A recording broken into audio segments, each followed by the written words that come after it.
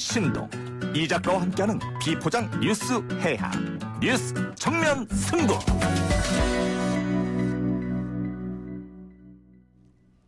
YTN 라디오 이동형 뉴스 정면 승부. 4부 시작합니다. 코로나19 사태가 장기화되면서 점점 지쳐가는 목소리가 많이 들리고 있습니다.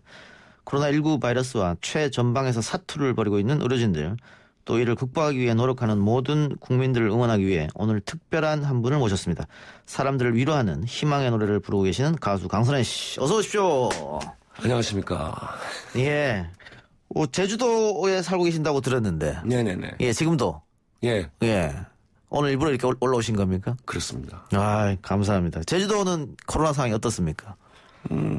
뭐, 물론 지금 뭐 아홉 번째, 제가 알기로는 아홉 번째 확진자, 어, 상황이었는데, 그래도 전국 상황과 비교해 보면 제주도는 그래도 예. 청정 지역이라고 할 수 있어요. 다만 관광객들 발길이 뚝 끊겨서 우리 예. 자영업자들이 굉장히 힘들어하실 것 같아요. 굉장히 힘들어 하시죠. 예. 예, 그래서 혹시, 어, 제주도 오실 분들은 어느 정도 좀그 약간 의심 증상이 음. 예. 계신 분들은 좀 알아서 예. 해 주셨으면 하는. 물론 뭐 자영업자들한테는 굉장히 지금 음. 어, 힘든 상황이지만은 그래도 일단은 이런 것을 스스로가 서로가 이제 좀 협조하면서 이겨나가 어, 나가야 될 것 같습니다.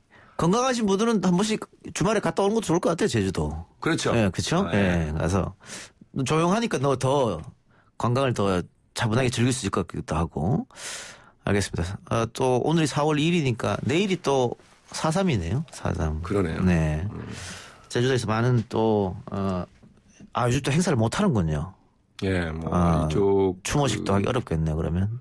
예, 이렇게 저희 그 음악하고 이게 문화예술 쪽도 아마 일들이 많이 없을 걸로 합니다. 음. 예. 힘들어해요 주, 주변에 친구들이나 예. 뭐 세션 하시는 분들이나 코러스 하는 분들, 뭐 음악가 프리랜서들 다 힘드시죠. 일이 없어져가지고. 뭐 전체적인 연주자들도 마찬가지고. 어려운 상태니까 아유, 안타깝습니다. 그래서 저희가 오늘 강산혜 씨를 모셔서 코로나19로 힘든 분들을 응원하는 그런 취지로 좋은 노래 또 좋은 메시지 좀 들려드리고자 초대했습니다.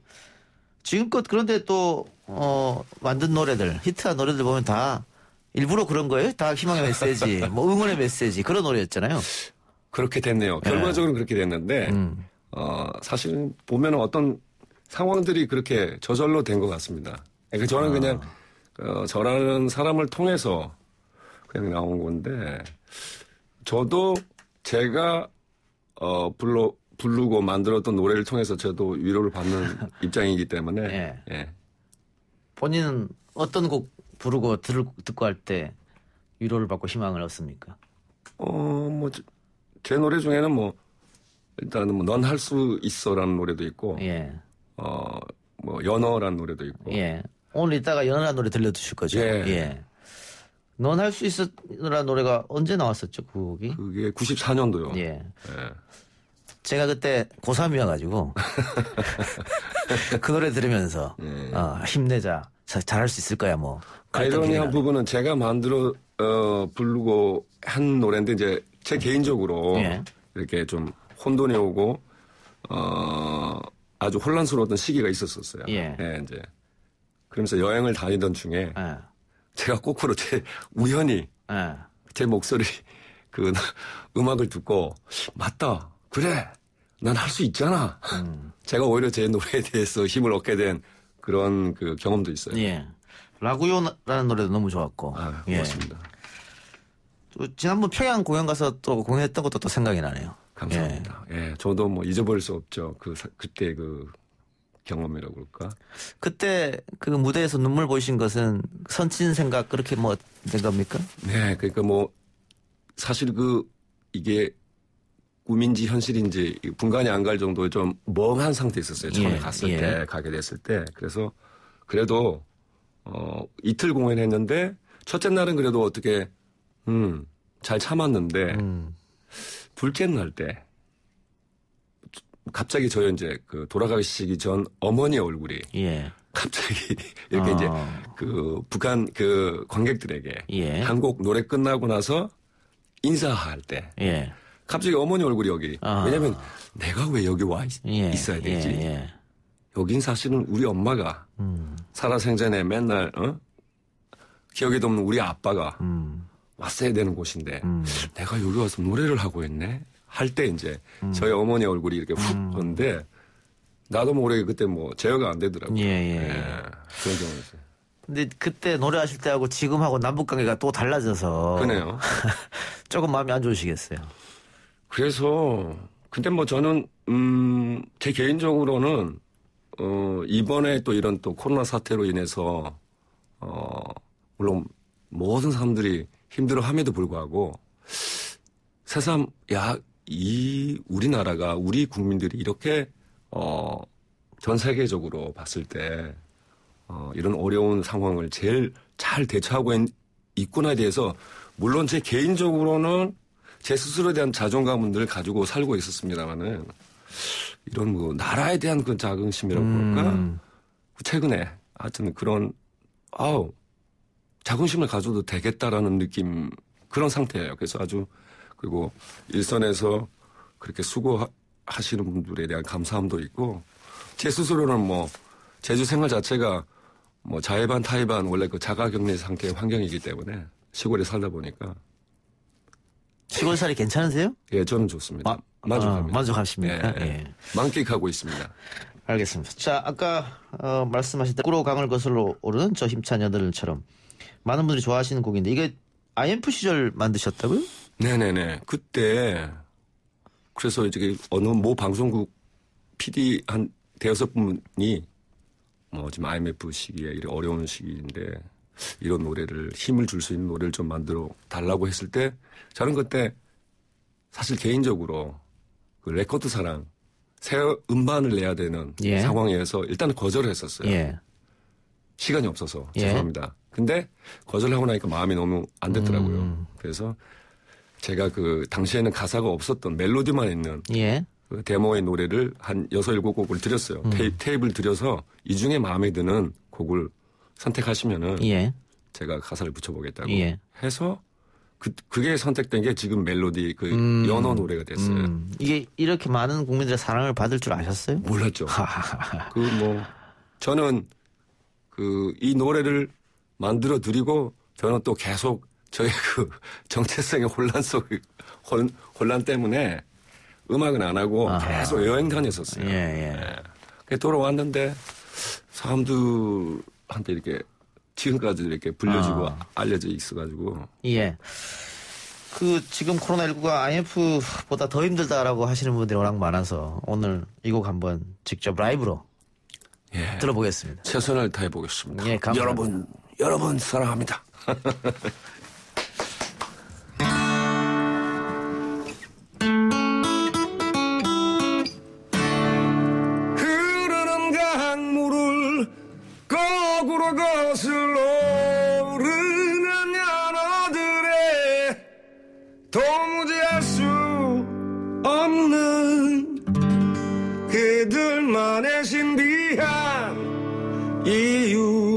이유처럼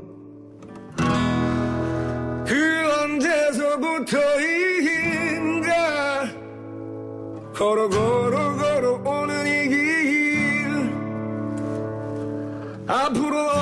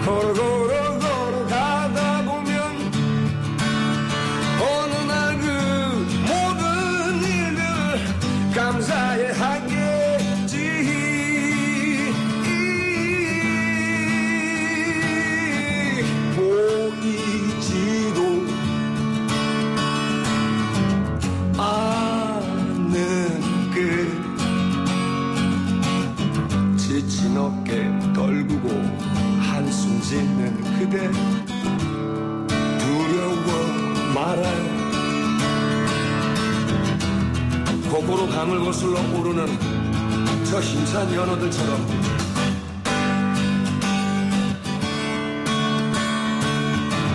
걸어가다 보면 걸어가다 보면 걸어가다 보면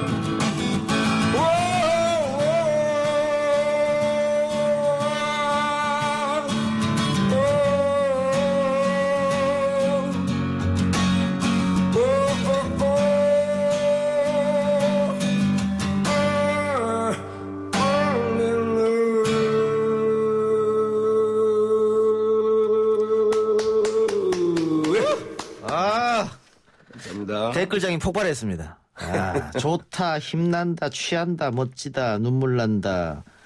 또 복 받았다, 추억 생각난다. 아이 너무 좋은 댓글. 여러분. 예. 수염 빼고 다 좋다. 아니 자가격리 상태에서 있다 보니 수염만 잘하고 예, 예. 예. 그래요. 자, 우리 청취자 댓글들도 많이 있는데, 그, 음, 혹시 신곡이나, 네. 신곡 발표 계획이나, 아니면 공연 준비는 또 따로 하신 게 있냐고. 예. 어, 이제 공연은 원래 그 6월쯤에 어, 솔로 공연을 해보려고 그랬는데 지금 이 코로나 사태가 어느 정도 진정 그 상황에 따라서 예. 그때가 될지는 모르겠습니다만은 일단은 그 여름철 가을철 해서 이제 공연 준비는 하고 있, 겠습니다 그리고 이제 신곡은 내년 초에 발표할 예정입니다. 음, 내년 예, 초에. 예. 6월 달까지. 신곡 기대하셔도 예. 좋습니다. 내가 그래도 벌써 준비하고 계십니까? 그 신곡. 신곡은 뭐 지금 준비한 지 한 10년 됐어요. 알겠습니다. 자, 김형래 님께서 강산의 형님이랑 예전에 세종문화회관 대강당에서 노래할 때 다른 밴드에서 연주했던 사람입니다. 반갑습니다. 아, 네, 반갑습니다. 주셨고요. 카페 5번 출구님과 박어진님께서는 어, 저는 명태라는 노래를 너무 좋아합니다. 이렇게 두 분이. 좋은 노래죠. 예. 그 노래는 그 평양에서도 부르셨죠. 명태라는 예. 노래도. 예. 반응은 어땠어요, 그때? 뭐 글쎄 이제 뭐 관객들 반응을 제가 이렇게 음 세세하게 체크할 그런 뭐 여유는 솔직하게 없었어요. 그냥 내가 어떻게 하면은 이 사람들이랑 이 사람들에게 뭔가 이게 좀 소통할 수 있을까. 예. 그리고 내 노래에 뭐 집중하느라고. 근데 라구요의 가사는 예. 그 북한 분들도 충분히 이해할 수 있는 가사지 않습니까? 근데 일단 제가 체크한 바로서는 예. 이게 그 그렇게 표 우리랑 표현이 좀 다른 것 같아요. 예. 그분들은 그러니까 제가 이제 들은 얘기인데요. 나름 그, 그쪽에서 이렇게 에티켓이라고 하는 부분은 어떤 무대의 그 공연을 봤을 때 이렇게 나름 그 격식 있게 노래 들을 때는 점잖게 듣고 그리고 끝나면은 박수. 우리처럼 이렇게 막 어, 환호성과 함께 막 자유롭게 그 제스처를 막 하고 표현하는 그런 거를 오히려 그 뭐라 그럽니까? calm down 시키는군요. 안 이렇게. 좋게 보더라고요. 아, 안 좋게 봐요. 문화가 다르더라고요. 아. 아.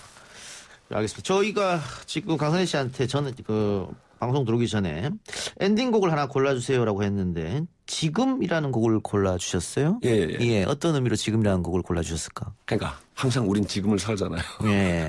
제목이 지금이기도 하고. 예. 글쎄, 그 지금 그 이 정말 이 어려운 상황에서 그렇게 최전선에서 이렇게 음, 수고하신 의료진들 예, 예. 그리고 각계 각층의 그, 그 수고 많으신 자원봉사자들뿐만 아니라 그분들에게 조금이나마 위로가 됐으면 그 저에게는 개인적으로 제가 그렇게 그 사랑 노래라고 그럴까 연인들의 그 사랑 노래가 예. 없습니다. 그, 음. 그 유, 좀 유일하다고 할까? 음, 이 노래가? 예. 예, 예. 굳이 제가 해석을 하자면은 알겠습니다. 저희 엔딩곡으로 지금 준비하고 있고요. 자, 광고 듣고 오겠습니다. 문자로 6635님께서 역시 기대를 저버리지 않는 강가수님 4203님께서 강산에 너무 멋져요 최고입니다 5945님께서 근황이 궁금했는데 반갑습니다 강산해님 예전 군산에서 전수일 감독님 영화 핑크에 출연할 때 뵀는데요 그 당시 장애인 상국이 형 상국이 역 가족입니다 그때도 아. 기타 치시면서 노래하신 기억이 나네요 건, 건승을 빌겠습니다 이렇게 의견 주셨습니다 자, 저는 이제 지금이라는 강선혜 씨 곡 들으면서 물러가고요. 내일 이 시간 다시 찾아뵙겠습니다. 강선혜 씨 마지막으로 우리 코로나19로 어려워하는 분들 모두 응원한다고 한 말씀 부탁드리겠습니다.